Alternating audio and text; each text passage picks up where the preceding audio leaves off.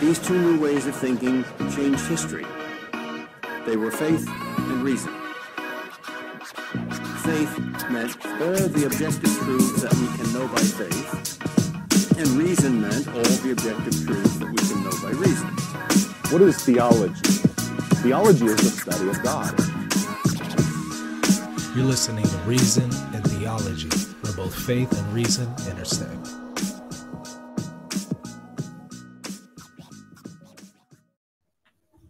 Welcome to Reason and Theology, everyone. I'm your host, Michael Lofton, on a Tuesday night discussing the Glossa Ordinaria with John Litteral, who is the editor of the Early Church Fathers Study Bible and also translator of the Book of Jonah. It is a commentary that was part of the Glossa Ordinaria, and you translated that quite a few years back. Isn't that correct?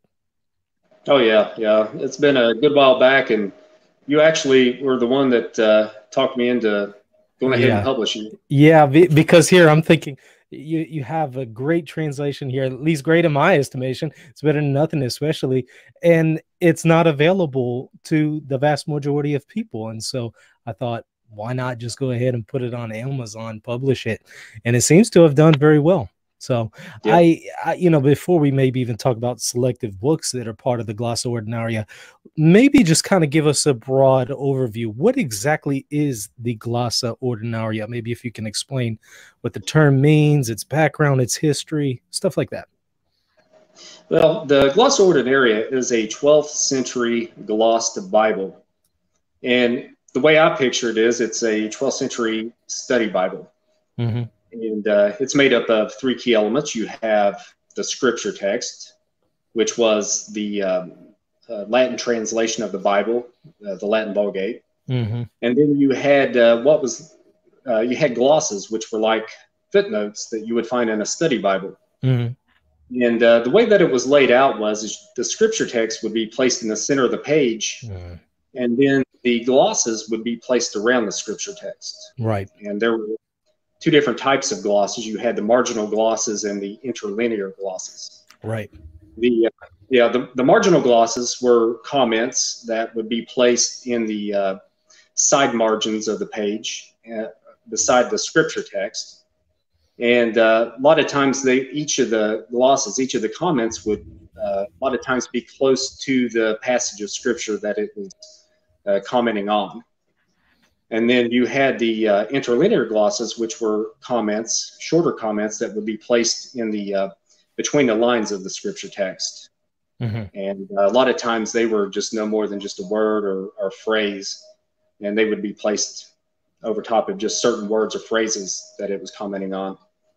So you know, and um, it was uh, put together at the School of Laon, the Cathedral mm-hmm. School of Laon. Most of it was, and, uh, you know, there they had a, a large library of uh, the patristic writings. And so, you know, a lot of the glosses were taken from the early church fathers and, and other uh, writers and commentators during that period. Yeah, and I'm trying to pull up a an image of it while while you're you're going over this, um, because I want viewers to be able to see um, a good example of it. Some of the ones that I'm seeing are from the 1400s, but I like the the format where you actually see um, the scripture, as you say, in the middle. You have your marginal commentary, and then the interlinear commentary, and then sometimes some um, commentary at the bottom um, in footnotes. I'm trying yeah. to see if I can pull. Yeah, yeah, that edition right there is much later. Mm-hmm. Uh, it's, it's uh, right. it actually has a extra glosses added in. Right. And uh, the commentary on the bottom comes from Nicholas of Lyra, his commentary. Mm-hmm. But uh, the original Glossa Ordinaria uh, didn't have near the amount of glosses that you see in that edition. Right. Whoever did that actually added in Greek fathers, you know, the interpolated, you know, amongst yeah. the, the, you know, the others, uh, the original glosses. Now, who who are some of the you know individuals that you would see in the gloss? Who who are the commentary commentators yeah. that it makes use of that you see frequently? Now, the one that's uh, quoted the most, used the most, is Augustine. Mm-hmm. But uh, you'll also find a lot of Jerome, uh, the Venerable Bede, Gregory the Great, and uh, many others, you know, Ambrose. And it was uh, mostly, you will find just about all of them are from the Latin fathers mm-hmm. because, you know, with the uh, uh, language barrier, uh, you know, you just, they didn't have access to many Latin translations of the Greek fathers. So you'll see a little bit of Origen in there, but most yeah. of it's from the Latin fathers. And and I want to say Alcuin had a pretty heavy hand in in um, compiling some of the commentary. Am I am I mistaken on that, or is that correct? Uh, he's, uh, he's, not. Uh, he didn't compile any, but he was actually uh, a source that was used. Uh, there, okay. there were definitely uh, commentators and scholars from the Carolingian period, such as Alcuin and Rabanus and Haimo of Auxerre and um, uh, Strabo. So, uh, you know, they didn't just limit themselves to the early church fathers. They, they did uh, take comments and excerpts from later commentators. And even, right. Uh, even after the ninth century, there are occasions where, you know, those are used as well. Right. And, and I think, you know, what I'm pulling up here on the screen might be a later edition, but um, you can see, looks like yeah, the that, scriptures. That, that looks like the the Rusch edition of 1480. That's yeah, the, I think the first printed edition that that you have up there. Yeah, it looks like it. Um, I could probably find out for sure, but here, so here you would have the scriptures. Here you would yeah. have, I guess this is part of the interlinear commentary. Um, because I'm trying to see the interlinear commentary. Oh, well, maybe here. Yeah, in red. These uh these parts right here where you have a red word above the actual text. I, I'm, I assume that is the interlinear text. And then you have the marginal commentary over here on the left. So it would have yeah. stuff like the church fathers. Yeah, that's, uh, yeah, that's really hard for me to see on my. Yeah, yeah. It, you, you might not be able to see because it's extremely hard. And I have it very, you know, blown up and it, it's very hard to see the red here, but there's some red um, words in in between the lines of the middle text. So I think that's the interlinear commentary uh, that you were describing. I'll see if I can maybe pull up um, Lesley Smith's translation of the Glossa Ordinaria from Ruth, because that gives a very modern um, visual of what it would look like in English. So kind of easier to read that than the Latin. but to me, it's beautiful. I I, I love yeah. the way the Glossa Ordinaria looks. I love the entire concept about it, where you have interlinear commentary. Um, I, I think it's genius because, it, especially when you look at Ruth. Um, and again, you can find Ruth translated in um, into English by Lesley Smith. I want to say it's part of medieval translations or, or something like that. Forget the yeah. exact title of her, her book, but you could just yeah, Google commentaries on on Ruth. Yes, yeah. yes, and so there's Jerome's commentary in there among others uh, from the medieval period, and in it it also has the glossa ordinaria. But anyways, you have the actual text in the middle, the scriptures, and right above some of the words, you'll have interlinear commentary, usually one or two words.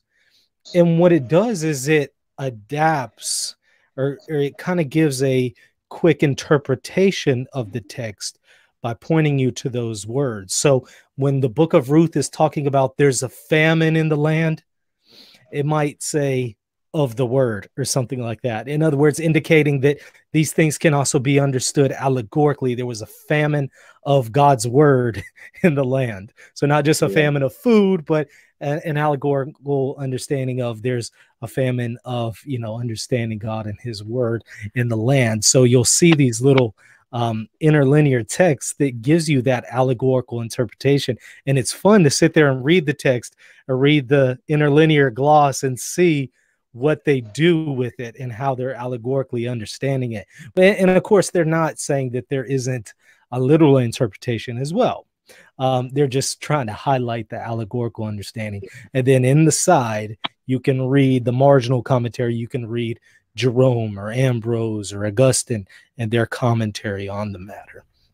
To me, Yeah. that's a fascinating way uh, Oh, yeah. to read scripture, and and I kind of wish that we had that more today. Me might too. helpful. Yeah. yeah I, uh, you know I, I know you and i were talking about this it seems like almost nobody is aware of the glossa ordinaria and the vast majority of it has not been translated into english um, but not only that I, i'm just confused as to why this thing was discarded um, this used to be the primary commentary that individuals use in the middle ages in understanding the scriptures is that not correct Oh yes, absolutely. yeah Yeah, you see uh, scholars, theologians in their teachings and writings and their own Bible commentaries quoting the Glossa Ordinaria uh, many, many times. Uh, Thomas Aquinas, you know, Yeah. his uh, Summa Theologica quotes it many times in his Bible commentaries, and and even uh, you know his uh, Bible Catena that or his Catena he did on the Gospels. He quotes the gloss quite often. Tell So- tell us about that, just for anybody who's not familiar with his uh, Catena Aurea.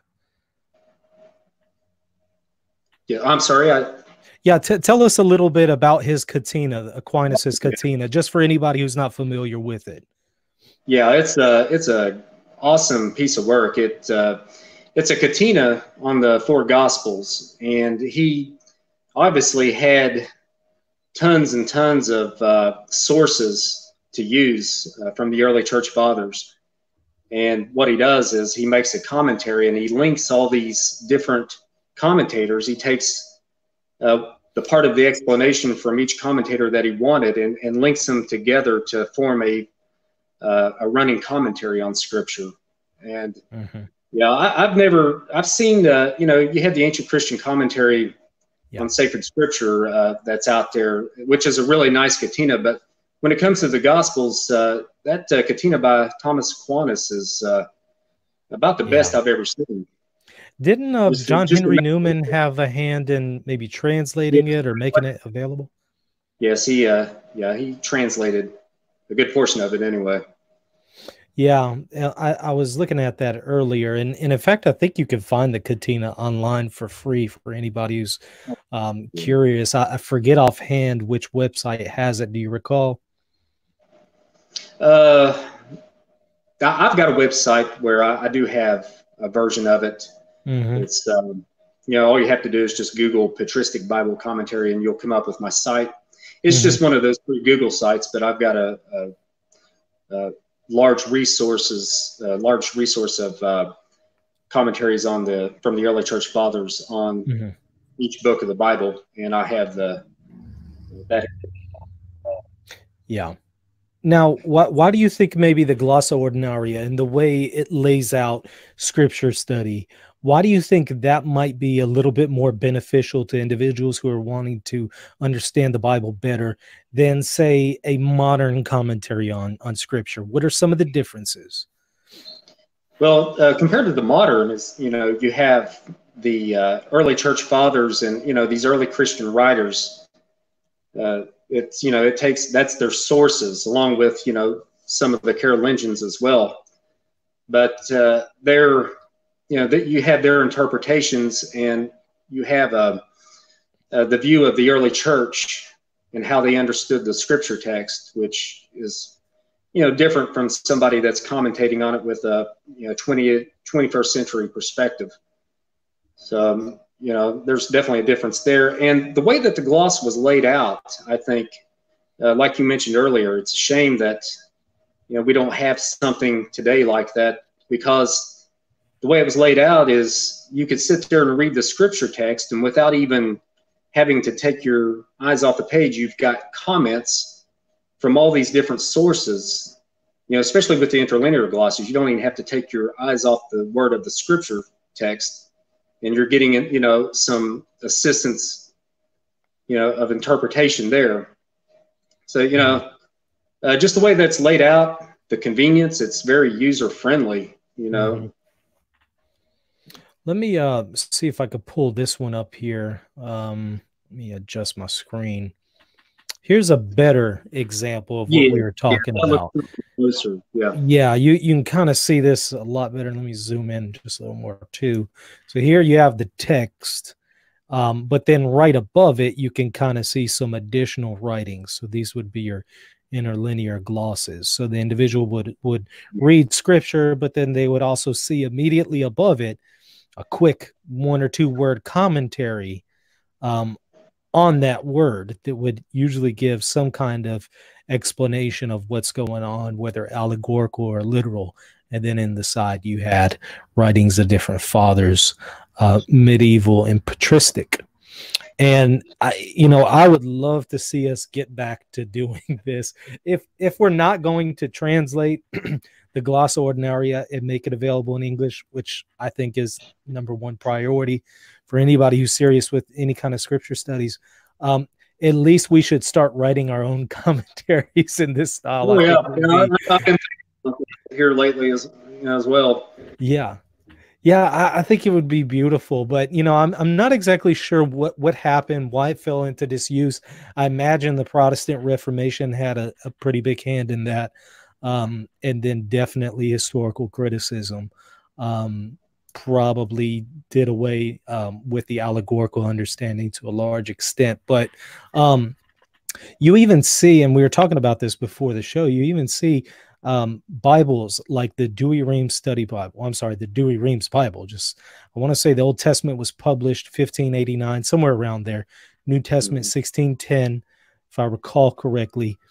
And when you look at this thing, I'll see if I can pull it up here online, but it is about 3,000 pages and it is filled with all kinds of patristic commentary. It's kind of like an English version version of the Glossa Ordinaria, except it just doesn't have your interlinear glosses. Yeah, it, it just has actually, marginal. Yeah, you have some marginal, and then a lot of the uh, footnotes would be placed underneath each chapter of the scripture text as well.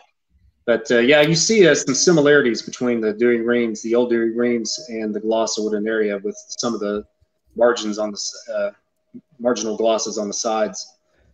And, and then they really truncated later editions of the Douay-Rheims. They really took away most of that commentary. Um, so that by the time you get to more modern editions of the Douay-Rheims, uh, there's almost no commentary in there at all. And, and, I'm not really sure what what is the story behind that. Have you ever chased that one down?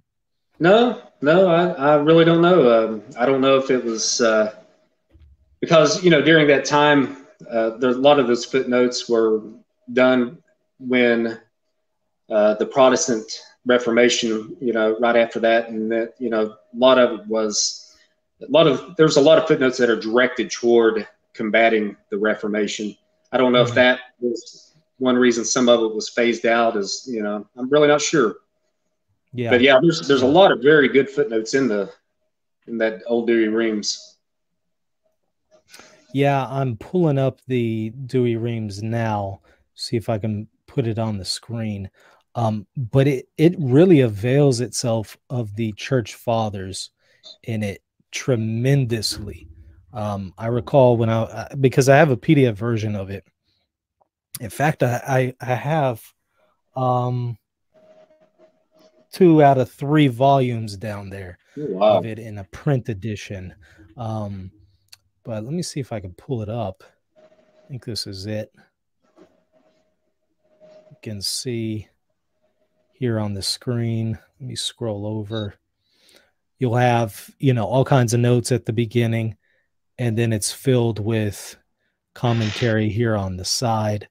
Uh, this isn't the best example because it's just the opening chapter, but usually there's a lot more commentary at the bottom.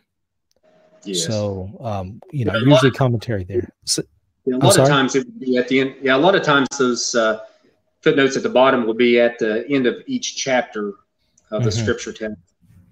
Mm-hmm. Yeah. So, I mean, here was a, a great study Bible that, that is in English and it's really still readable. If you look through this thing, you can still understand it. Um, even though the, the, the language is pretty old it's definitely still understandable. And and so I mean one could really still make use of it. Let me see if I could pull up another example here. Here we go. Well, this is the Haydock Douay-Rheims Bible.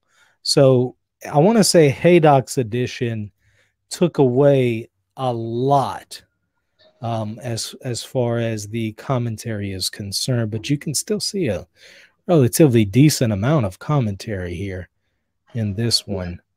But again, going back to what we're saying here, you have a commentary in the English language with a lot of uh, patristic material. So if you're really interested in something in English, you can't read Latin, um, like most of us, uh, you know, you might want to look at the original Douay-Rheims uh, Bible, and it's available on archive.org. I want to say they have it in two different files, the Old and New Testament, but I found it before um, in one one version. But again, this thing is 3,000 pages, so there's no way to print it out into one study Bible. If I can find a printer who can print 3,000 all in, in one binding, I'm to put put that thing out and see if we can make it available. But I haven't been able to find that.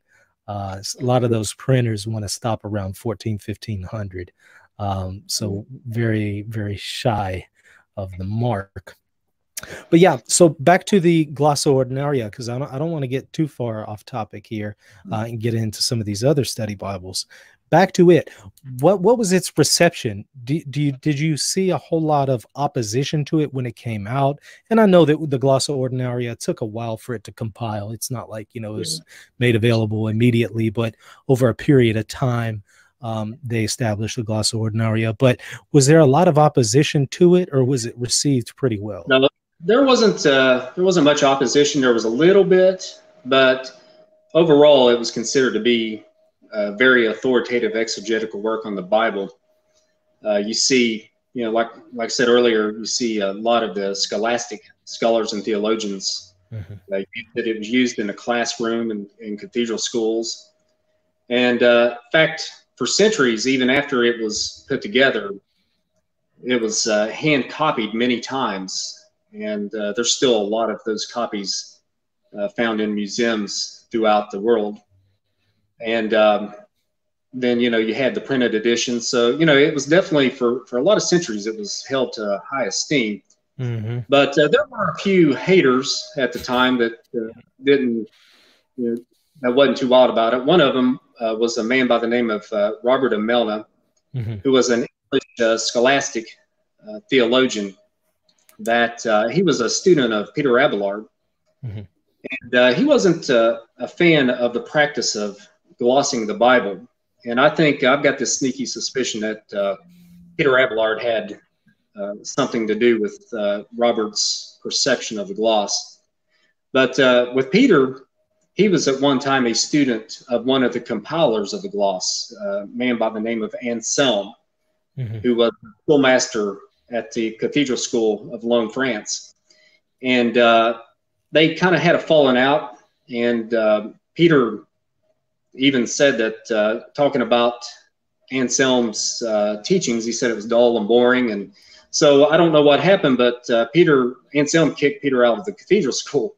Mm-hmm. So, you know, Robert, being a, a student of uh, Peter Abelard, uh, probably, you know, had uh, some of his perception was probably impacted by Peter. So, but mm-hmm. Robert. And and Peter Abelard he he wrote that book Sic et Non, which means yes and no, and it was basically his his way of refuting the church the use of the church fathers by saying well you find church fathers saying yes to this proposition and then no to the same proposition. Therefore they're entirely useless. At least that was my understanding of, yeah. of the purpose of writing the book. So I, could definitely see somebody who's influenced by that not yeah. perceiving the gloss in a good way yeah, one of the problems that he had, Robert had with the gloss ordinaria was he felt that students who were reading the gloss mm-hmm. weren't reading it for spiritual enlightenment, but more for uh, academic passion to be more studious. Mm-hmm. And uh, so he, he seemed to have a problem with that. And plus, he also was pretty harsh when he uh, wrote about the compilers of the gloss. Mm-hmm. And uh, he uh, accused he uh, accused the compilers of the gloss of not having an understanding of the scriptures, nor did they understand the uh, glosses that they were providing for the scripture text. Mm. And uh, so, you know, you know, it's he uh, came down pretty harsh on them, yeah. and right. But, uh, you know, like I said, I, I think a lot of it has, you know, kind of goes back to Peter Mm-hmm. Abelard and his falling out he Yeah. had with Anselm. Very, very likely. I could definitely see that. But, you know, the, uh, he was in the he was in the minority for sure. You know, Most Overall, received it. yeah, Yeah. uh, there were many that. Now, uh, tell us maybe uh, about the edition of the Glossa Ordinaria that we see in the Patrologia Latina. Um, you know, this this very large multi-volume series, 220 something volumes, if I'm not mistaken.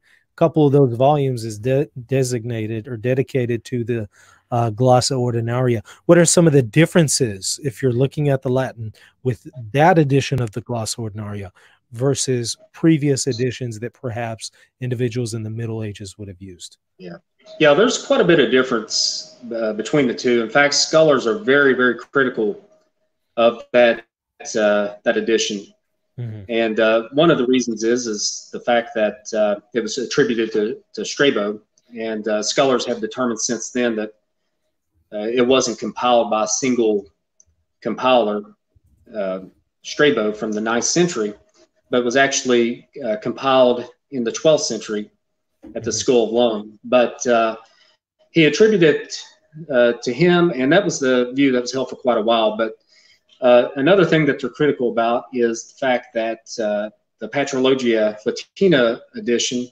doesn't have the scripture text with the interlinear glosses Mm. and that's uh, definitely a, a problem.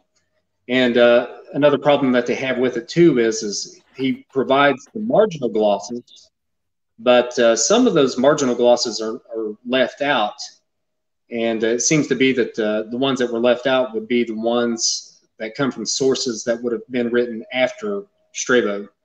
So you know, it seems as if you know the, holding on to the uh, Strabo as being the compiler, you know, even taking out some of the glosses that were written afterwards. So I, I don't really know what the intentions were, but Yeah, Uh, I mean, that that was going to be my question. Why why were they gutting this thing of, you know, so so much of the material? I I imagine quite a few, um, or a large portion, um, was lost by just taking out the interlinear glosses. Don't don't you think there was a lot missing at that point? Definitely. definitely. Yeah. Yeah, I haven't been able to chase that one down as far as why that that exactly happened. It's a Um, shame they dropped the ball on that because that would have, uh, I'm sure that would have been valuable if they would have added everything in and, and done it right. Mhm. You Now, doesn't Brill have a Latin edition of the the entire Glossa Ordinaria? Yes, I, I've read about that. I, I really don't know much about that, so Mhm. I, you know, don't have much really to that I can add to that. Because I'm uh, just thinking here, look, if you're a translator, you know Latin, and you want to go and translate the Glossa Ordinaria, where would be the best place to start as far as Latin um, editions of it? Where what would you recommend? Well, uh, there's actually one source. It's free online, and it's uh, it's a work in progress right now.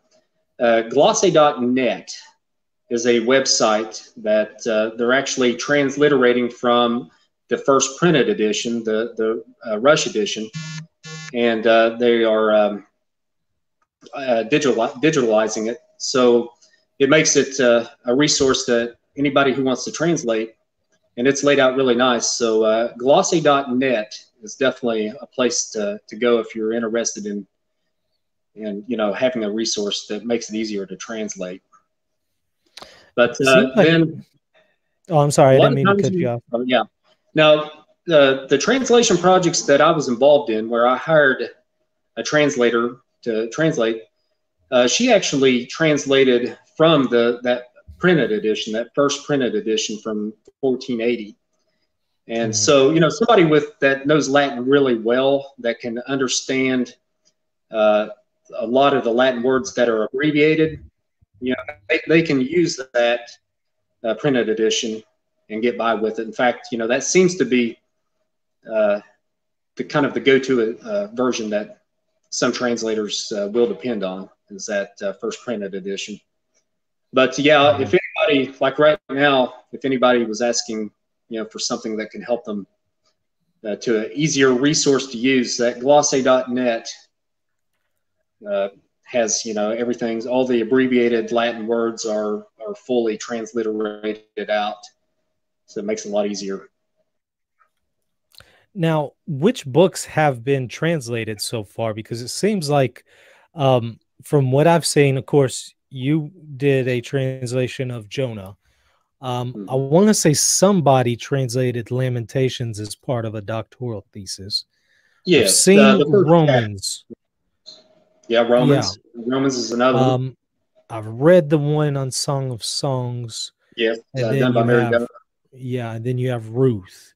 Now, oh, yeah. oh, also um, Sarah, um, you know, our, our mutual friend translated yeah. um, Revelation and mm-hmm. also one through three John, yes. second and third John. Um, yes. I'm not aware of anything else. Are are there any? Have you heard of any other books that they're working on at the moment? Uh, the Gospel of Matthew actually has been translated. I've seen snippet views of it. Mm. Uh, I need to look and see who actually the publisher is that's going to, to put it out. I don't know if it's out on the market yet. I haven't really checked up on it, but uh, you know the translation's done. Everything's been laid out really nice. Uh, I don't, you know, sometimes when it comes to publishing, it, t- it, takes a long time to you know cut through the red tape and, and get some of that stuff out. But um, mm-hmm. yeah, the Gospel of Matthew is is one that uh, we have to look forward to. And also, uh, mm-hmm. there's uh, a friend of mine that I know who's a professor at Northeastern Baptist College, uh, Dr. Lee Williams. Uh, he translated the gloss on the book of Galatians, and he's uh, working on Ephesians as well. So uh, that's one that somewhere down the road, you know, I'm looking forward to that coming out. Any Old Testament books? as far as I know, I, yeah, the only ones I know of are Ruth, Song of Songs, uh, Jonah. Uh, other than that, uh, none that I'm aware of. Mm. From time to time, I go and I do try to look and see if there's anything new that's come out. Yeah, I do too. it's a shame because I, I love the Old Testament. One of the reasons why I love the Old Testament is it's um it's a wonderful place to go to to get the allegorical perspective um, in the allegorical sense of scripture, which is my favorite. Um, obviously, you need all senses of scripture, but to me, the allegorical is most intriguing. And just for anybody who's not familiar with with these terms, um, there are four different senses, arguably four different senses to scripture. There's the literal sense, that is the meaning that the author intended historically. Um, there is also then the is allegorical, moral, and anagogical. Allegorical would be how this text not only refers to something historically, but how it also points to Christ and his church. Um, then there's the moral sense where we understand what happened in the literal sense to also have moral in, moral instructions and implications for us as individuals um, or for the church. well, back to what I was saying. I don't know what, what was the last part where I maybe got cut out, but I was talking about the four senses of Scripture. What, what did you hear all that part? Yes. Yeah. yeah now, you know, I don't know if you have a different. Yeah, I, I don't know if you maybe have a different take on it. That's how I understand the four senses of Scripture. I want to say it's also mentioned in the Catholic Catechism paragraphs I want to say 115 through 118. There's a thorough explanation. And again, uh, there's different opinions on how uh, the different senses of scripture can be divided, but essentially that's the most common one that I've seen the fourfold method, which some people have termed the quadriga. Um, basically, because the quadriga was, you know, a uh, old term for four horses that they had in the Colosseums and uh, or not Colosseum, but whatever the uh, the hippodrome, and they would have four horses guiding the chariot. So the idea is that these are the four the four senses of Scripture which guide our understanding and interpretation of the Bible. So some people call it the quadriga. Uh, most people don't know it by that term. They might just know it as the different senses of Scripture. Um, Now, let me give you a chance to maybe comment on that. Do you think that the fourfold method that's the best way to identify this, or have you seen something else um, better than that? Well, I've seen uh, uh, some different. You know, I've seen Augustine discuss it and, uh, and Thomas Aquinas discuss it, but uh, no, I, I really you uh, articulated that very well. You know, there's really not much I would have to that could add to I benefit pull- that.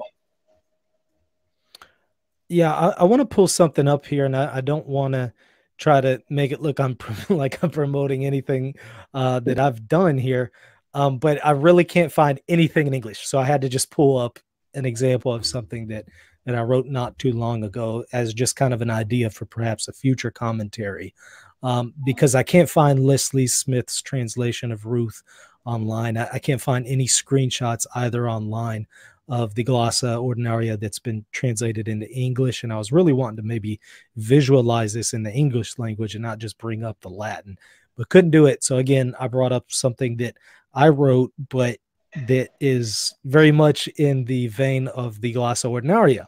So here, this is on the book of Lamentations, uh, chapter one, verses one through three. So maybe this will help for um, by way of reference for anybody who's trying to understand the glossa ordinaria. Here you have scripture um, in the bold text in the middle. Then you have interlinear glosses where you just have footnotes above each, and then you can see the interpretation of the f- footnote um, down here. And it, and it kind of gives an allegorical understanding of the scripture that we're reading here. Um, and you continue to see that all the way down. And then what we also see here is on the side, um, you see the marginal commentary, and everybody ignore the fact it says Jeremiah. I need to swap that out to say Lamentations. But um, here you'll see, for example, the literal sense. So you'll have commentary on the side marginally giving you the literal interpretation, then the allegorical interpretation, moral interpretation, perhaps an anagogical interpretation if there is one. Um, depends on the commentator. Now, in the actual glossa ordinaria, they don't always give you these different, you know, all the different senses. They might just give you um, one of them, the literal sense or the allegorical, or just a Yeah. snippet of something from the church fathers. They they might not break it down like this and say, here's the literal sense, here's the allegorical sense, here's the Yeah. moral. Um, because those things might not even be applicable in all cases. There, there's, in my opinion, when you look at sacred scripture, um, would you agree that not every scripture has all four senses? There are some scriptures that might only have one sense or might only have two of the senses, or some scriptures that might have all four of the senses. What, what are your thoughts on that? Yeah, yeah, I agree. Uh, as far as the glossa ordinaria and uh, you know the different senses, uh, sometimes you know you will find that in a gloss, and it all really depends on what book is that uh, that you're on, and and uh, depending on who they had as their sources to uh, to use in the glosses. You know, so if you have Gregory the Great, you'll you know, a lot of times will find uh, his interpretations on, and the different senses that he gives on it. Uh, but you know, if you have a, a certain book of the, the Bible that uh, you know you don't have uh, sources that do talk about the different uh, senses of Scripture, then you know obviously there's nothing that they could have used to Mhm. to add to it. Yeah, I'm glad you brought up Gregory the Great because his commentary on Job. Um, oh yeah, I want to say you compiled it, didn't you? I'm pretty sure you Uh, compiled the I did, uh, I did uh, edit it Mhm, at one point in one volume, mhm. a very large volume. Yeah, and it is filled with the allegorical sense, is it not? Yeah, And yeah. I'm pretty he sure he has- has a lot in the moral sense too. Yeah, well, yeah, he, he gives a, a, wide variety of the different senses Mhm. in it. It's extremely valuable commentary on Job. In fact, the Gloss Ordinaria on Job uses a tremendous amount of Gregory the Great. hmm hmm What are maybe some of the different um, church fathers that you think are very helpful when it comes to giving us these different senses? We've talked about Gregory. What are some other good ones that you've seen? Augustine. He's he's very good at uh, kind of balancing the different senses of Scripture, and uh, in his writings and, and commentaries. Mhm. In fact, you know, he even writes about it uh, on different occasions. Yeah, let me. Well, what do- what do you think, for instance, of Origen? Because from what I see, it, it seems like he takes the allegorical a little too far. But don't don't get me wrong. I like Origen. Um, sometimes I appreciate his allegorical interpretation, but sometimes it, he just goes way too far with it. Oh, Case in point, the Book of Leviticus. He just Yeah. anybody who's read that thing, he, he's just on a different wavelength.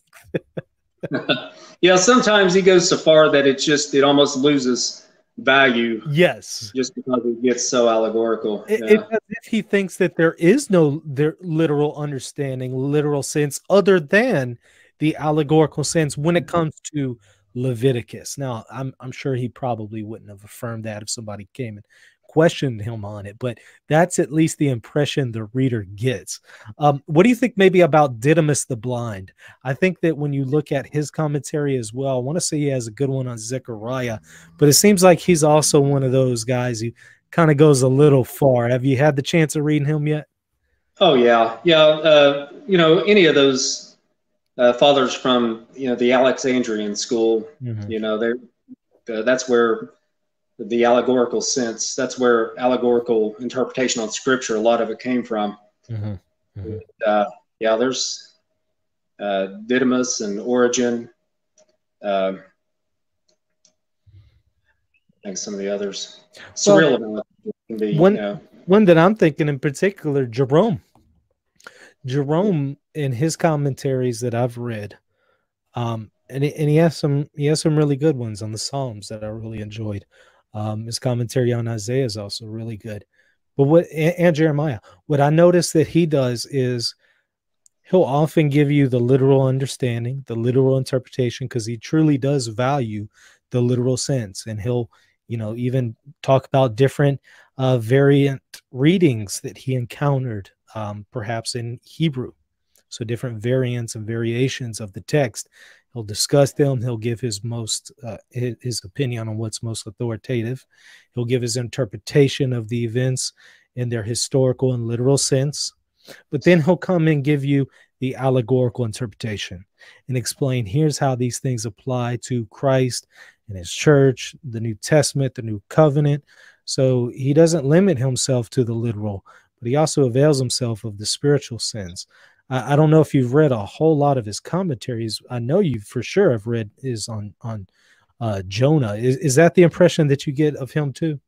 yes. Oh yeah. Yeah. Absolutely. Yeah, he he to me seems like one of the most balanced.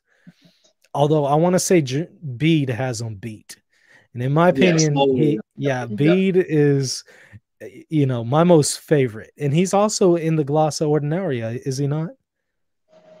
Yes. Yeah. Oh yeah, definitely. There's a lot of Bede, especially get into the Book of Tobit and Mm, well, just even you know the Gospel of Mark. Uh, Mhm. A lot of, especially a lot of places where you don't have uh, many commentary and many sources uh, from the earlier fathers, you know, where Bede actually, you know, uh, did write commentaries on. You'll find a lot of Bede there. And then even when you don't have uh, much of Bede, uh, they'll rely on on later sources such as Rabanus, right his commentaries too. now, he was early Middle Ages, correct? Uh, well, he's a Carolingian. Mhm, Right. Yeah. So what I've seen with with Bede, you know, you you mentioned his commentary on Tobit, and and that's going to be filled with a lot of allegory. So that's a really good example.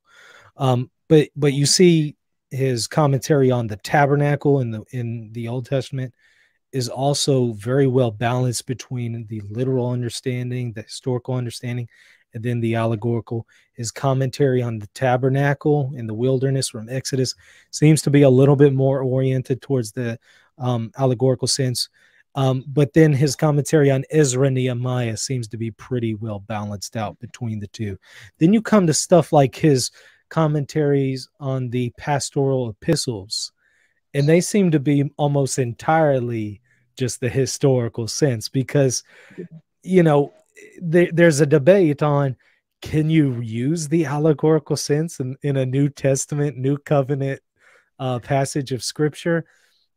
How, have you seen that debate before? What are your thoughts on that? Yeah, and then there's also, you know, they'll do the anagogical sense where they'll mm-hmm. take a New Testament and uh, something that it foreshadows of a future event. Right. You know, so, you know, you'll see kind of that spiritual interpretation going that way as well. Yeah. Yeah. And, and, and that makes a little more sense because in the new covenant, you already have the fulfillment of Christ in his church. It's right there in front of you. So it's kind of hard to, to do an allegorical sense, you know, because that seems to be the, you know, the normal literal sense already um, is to refer to Christ in his church. But you're right. You do have the moral sense um, where, you know, maybe perhaps gives, gives us instructions but then the anagogical sense it points us to how this maybe is fulfilled ultimately in the eschaton so that's that's actually a very good point that i haven't considered um, now maybe tell me about some of the translations or material material you're currently working on. Are you doing any translations from the latin right now or, or just still working on the early church fathers study bible? Yeah uh, the uh, study bible is something i'll be working on for quite a while. In fact, uh, you know, there are sections, there's uh, sources that uh, I'll translate uh, for the footnotes and stuff. And, and I'm also, I have others that will uh, translate for me as well. So mm-hmm. I've had a lot of help in getting uh, a lot of footnotes, you know, that I wouldn't have got otherwise. Right. But now there is a translation that I published a little while back of a Ambrosiaster mm uh, a fifth century commentator. He actually wrote commentaries on the Paul's epistles, but also he wrote a work. It's uh, questions on the Old New Testaments, mm-hmm. where he takes a lot of the passages throughout the Scripture text that are hard to understand, and and he does like a question and answer format. So that's on the market as well. Yeah, uh, that's uh, so. But uh, no, I would, you know, in fact, uh, if there's people that's watching that knows Latin, you know, it would be nice if, you know, we can kind of talk them into yeah. maybe getting their interest in the Ordinaria. and, uh, you know, if anybody's, you know, knows how to translate Latin and is interested in, and uh, a translation project, there's a lot of the gloss ordinaria that, that can be translated. That's true. That's very true. I know Ryan Grant, who was on our show not long ago, he's translated a lot of Robert Bellarmine. Maybe maybe we can call on him and recruit him. Oh, yeah. yeah. Oh, yeah. He's very competent in Latin, so I'm sure he could do a little bit for us. Me, I'm chomping at the bit for more. I ever since I read um, the commentary of the Glossa Ordinaria on the book of Ruth, I was hooked again, anybody who's interested, go to Amazon.com. You can find this thing on there. It's really cheap, maybe five dollars, and you're getting Jerome's commentary and quite a few others. But you'll see what I'm saying there in that commentary. It's absolutely amazing. Yeah. So I've been waiting for more on Genesis, Exodus. You know, the Pentateuch. You know, territory that's ripe for the allegorical sense. Uh, but just doesn't seem to be a whole lot of interest yet. Now, I mean, coming back to your early church fathers study Bible, um, tell me a little bit more about that. Are you going to have a lot of um, a lot of material in there that hasn't been translated yet, or mostly stuff that's available? You're just compiling it, and who are some of the fathers that you have in there? Yeah, there's there's definitely a mix. There's a lot that that's uh, translating for the footnotes. Uh, there's a lot of stuff that's you know never been translated before. Mm-hmm. But it really depends on what book of the Bible. Mm-hmm. Uh, I kind of I like to kind of go in the spirit of the gloss ordinaria, and and uh, uh, you'll find when whoever when they compiled certain books of the glossa ordinaria, they would have kind of a primary source, mm-hmm. Uh, say the book of Galatians, you know, your source, and then you'll have other commentators as well. I kind of follow that pattern a little bit. Uh, just like with the, mm-hmm. um, uh, the footnotes that I provided for the Gospel of Matthew, uh, mm-hmm. Jerome's commentary on Matthew is kind of the primary source. So uh, there is an existing translation of that, but uh, I've actually translated from his text and provided footnotes from him there. But but you know, it, it's a mix. It's uh, Yeah. as I go and I'm selecting the comments, uh, the footnotes. You know, I, it depends on which ones I, I find most insightful, which is articulated the best, and but uh, the, yeah, there's I try to try to make a good blend too. I, I want uh, readers to uh, see a lot of different uh, sources being used. Sure. Yeah. Yeah.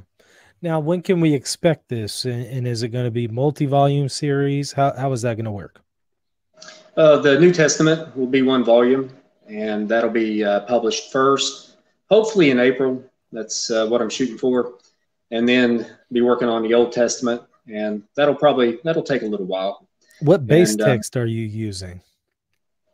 Just the King James version. I'm going ahead and just uh, use the King James version. Mhm. You know, Are the Deuterocanonicals going to be in the the Old Testament? I, I plan on it. Mhm. Uh, that's you know I definitely plan on it. Yeah, that that's always the tough thing is is trying to find commentary on the Deuterocanonicals Oh, in know, English. You know that that's the Yeah. difficult part. That's uh, that's where I hope uh, somewhere down the road I'll I'll be able to get some more uh, people to help kind of translate and Mhm. uh, some of these you know because you know you get into Maccabees and and books like that it's hard to find and you know Mhm. commentators. About your earliest source would be uh, Rabanus, Yeah. and uh, so a lot of his stuff has never even been translated in English before. Yeah. So But I, I've enjoyed him from from what I've seen. He seems to be a really really good commentator. oh, yeah, very good. Yeah. Yeah. Uh, Well, um, hey, go ahead and, and put in a plug for any other material that, that you're doing. I, I want you to, you know, ha- have a chance to put everything out there. I know you have the early Church Father Study Bible that we're discussing here, but I want to say you have some other projects online as well. So go ahead and put in a plug for anything that you want. Yeah, there's uh, other English translations of some of these early Bible commentaries. Uh, there's Alcuin of York. There's a translation that uh, I published that uh, is on Rev- his commentary on Revelation, and also he uh, wrote a questions and answers manual on Revelation as well, and that's uh, one volume. So that that's out there. There's uh, you know, like I mentioned earlier, Ambrosiaster, his questions on the Old or his questions on the Old New Testament. Uh, that's out there, and uh, you know, Quite a few things out there. Yeah. to put my John Litteral in Amazon search, and Yeah. you know, all the pop up All that stuff comes up. for quite a few years, and yeah, there's, there's quite a bit out there. And what's the website too? Uh, the website, if you want to just uh, get on to uh, a lot of commentaries from the early church, uh, just uh, put in a Google search, Patristic Bible Commentary, Mhm, and uh, the website will come up in a search engine. It's just one of these free Google sites, but I've mhm. I've loaded it down with a lot of resources. Yeah, you sure And have. it's uh, it really the commentaries on uh, say from Chrysostom, his homilies Mhm.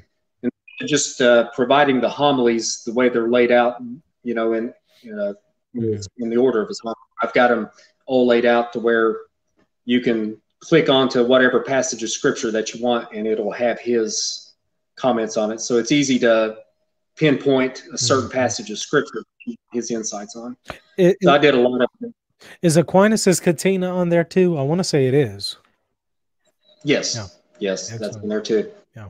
yeah. Everything's uh, you know divided up in book, chapter, and verse, so you know it's, it's easy to you know navigate through.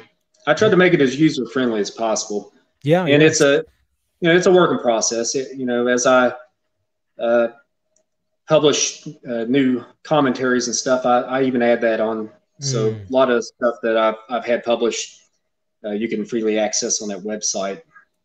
Yeah, well. and it seems like people, re- you know, could avail themselves more of this because you have free translations of commentaries made available for you right here in the English language for free. So, I mean, why not use it? Go ahead and also tell us how how can individuals get in touch with you if they say, you know what, I know a little bit of Latin, maybe I can help out. Uh, how do I get involved in this? How how can they get in touch with you, or if they just have Oh, questions? Yeah, absolutely. Uh, just email me at jlitteral29 at gmail.com. That'd be letter J, then literal, L I T T E R A L, 29 at gmail.com. Yeah, if, any, if you need suggestions on, you know, about the gloss ordinaria, or, you know, need some tips or mm-hmm. uh, guidance on getting the resources to translate from, and mm-hmm. yeah, I would more than I'd be more than happy to to help somebody get started on a project. I'll definitely support as much as I can. Excellent. And hey, when your you study know, Bible comes out in in April, let's do a show on it. I'd love to have you on again. Oh yeah. By the way, if uh, even it if somebody doesn't feel like they're a, a professional at translating, you know, if it's just one of those that you just if somebody's interested in and you know and just wants to to give it a shot, then you know I'd be more I'd just be as happy as helping somebody like that out as I would somebody that's a pro. So you know any I think I feel as any any English translation of the gloss that's out there, you know I think it's uh, beneficial. And that's how you started out, if I recall correctly. I, I, think you were telling me you were you were learning Latin, and you saw that nobody was translating the gloss, so you started just doing it yourself the best that you could. Yeah. I like that. Yeah, sometimes my zeal gets uh, ahead of everything else. No, you know? that's okay. But, uh, but because uh, that that's how we got the the gloss on on Jonah, so it, it worked out well. Yeah, that was back then. That was uh, some years ago before a lot of these translations translations started coming out. Mm-hmm. I mean, it was one of the first ones out there. Yeah, I think you even had some correspondence with with Lesley Smith when her her book came yeah. out. Yeah, um, on Ruth. Mm-hmm. Matter, she's another one that she's a scholar that she's been very helpful mm-hmm. along the way. It, any idea, any word on on any books that she's going to be doing by any chance? No, uh, she uh, seemed like she was uh, right around retirement the last time I talked to her, and she was very helpful and uh, answering a lot of questions for me and, and, hooking me up with certain other scholars in that field. Well, she passed the baton on to you. well, but uh, you know, it, it is amazing. You know, you run into some of these scholars that are uh, well known that can be very helpful. They're very humble. So, mm-hmm. and Lesley Smith are definitely two of them that uh, I really admire. Excellent. Well, good deal. Hey, thanks so, so much for coming on the show. Like I said, again, when it, your book comes out in April, let's do another one. Oh, that'd be great. Absolutely. Thank you very much. I appreciate you letting me come on. Absolutely. Thank you, everybody. Thank you for watching. Please comment, like, subscribe, share this material on your social media. Till next time, go share your faith. Thank you.